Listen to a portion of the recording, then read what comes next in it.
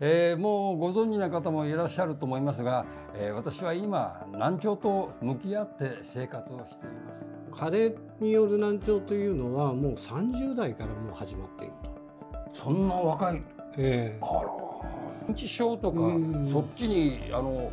影響いっちゃうんじゃないかなって気持ちもする。どうなんでしょうそれ。いやこれがあの今非常に重要な社会問題となってるんですね。なってますかやっぱり、えー、はい人とお話できるっていうその喜びっていうんですかね、うん、もうこれはやっぱりずっと僕らがあの人間生活の中ではね失っちゃいけないこと。私と一緒に難聴の星になりましょう。